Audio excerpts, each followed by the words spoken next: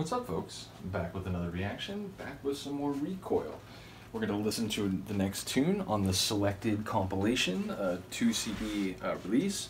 Uh, also has a second disc, indeed, with a lot of remixes. We're still going through the, the first album, the selections uh, made by Alan. Although, again, a number of you have pointed out that there are no tunes from the first couple Recoil releases, uh, which is disappointing to a couple of you. I do get that because I know how it uh, how it goes when you have an, a band that you like a lot and then they do like a greatest hits or a sort of a compilation and then some tunes that you really like are left off. It's like, wait a minute, this one's not better. You know, uh, a few of these on here are not as good as some of the other tunes I know, so I do get that.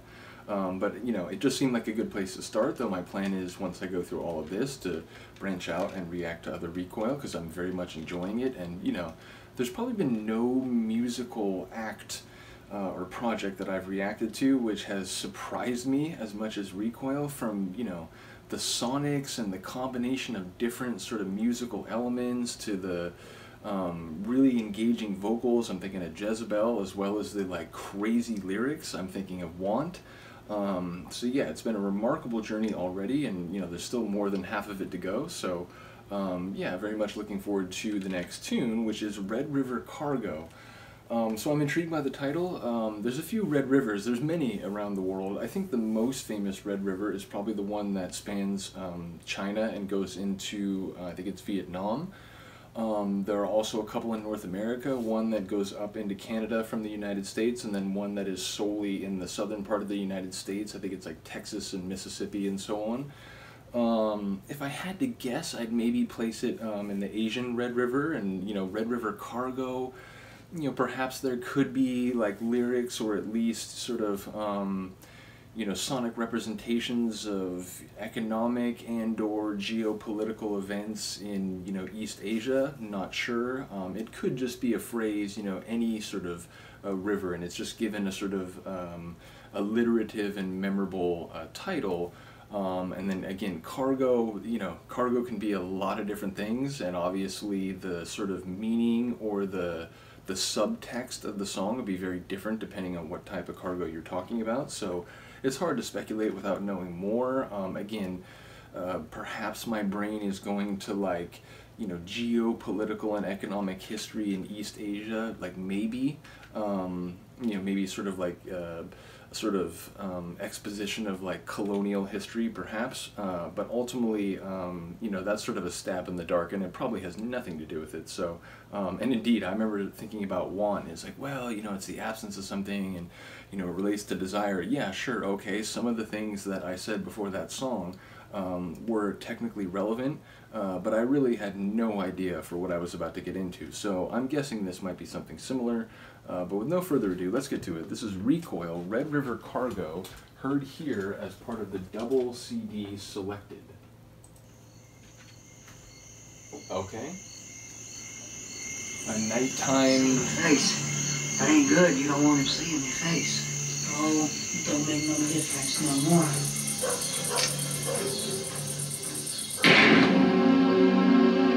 Cinematic, dangerous, and violent right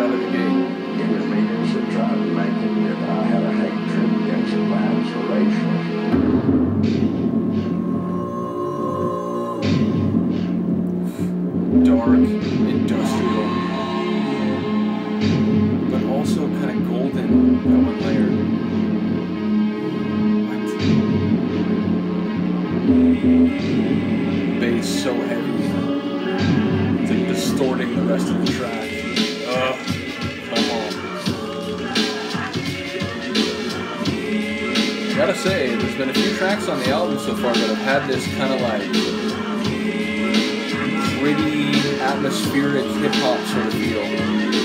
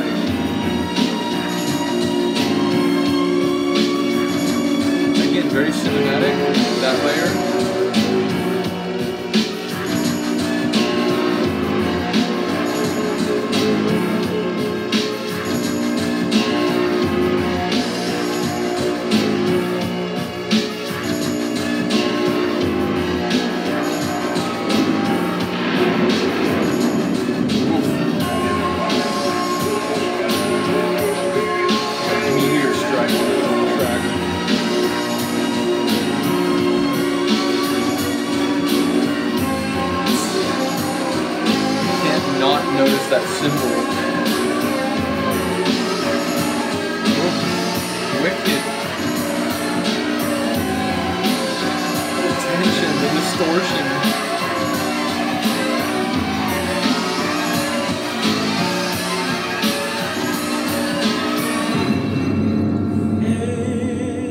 I was gonna say you couldn't sustain it for much longer, but what a way to come out of it.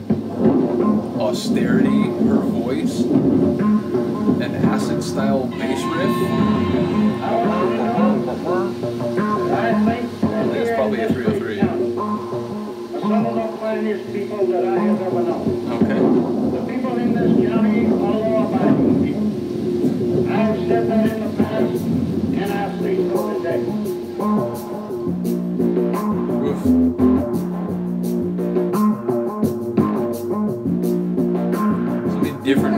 different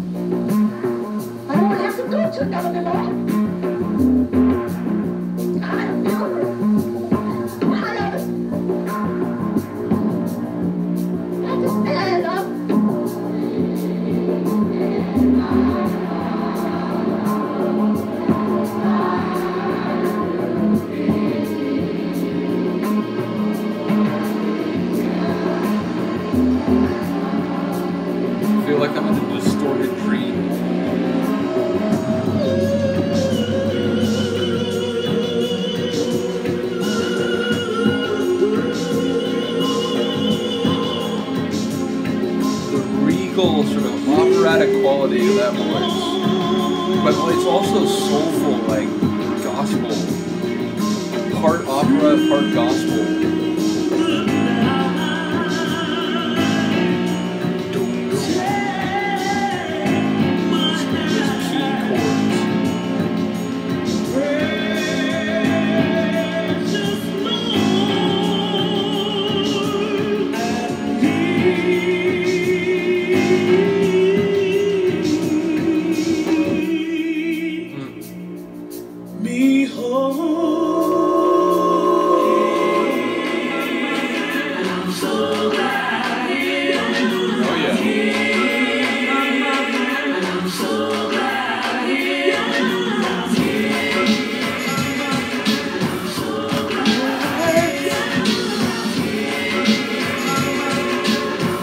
To this point, Jezebel's been my favorite.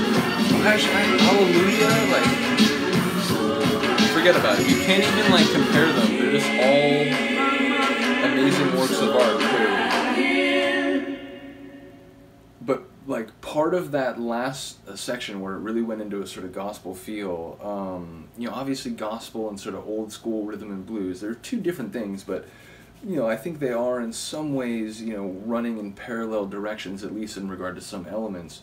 Um, and I had a feeling at the end there that like I want to listen to Jezebel right after this.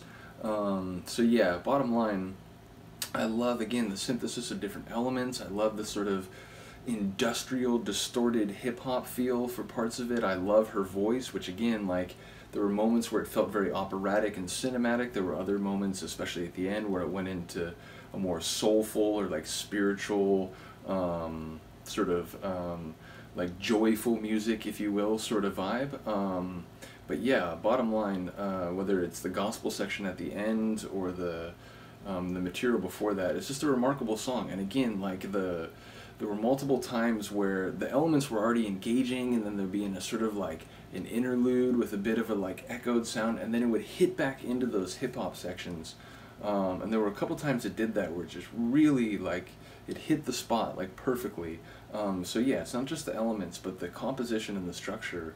Um, brilliant. So once again, it's another top track. I don't think there's been a single one where I was like, yeah, that was okay. I mean, they've honestly all been sort of top level. Um, very much enjoying this. Um, you know, I, every time it's like I don't even know what to expect, and I still get surprised.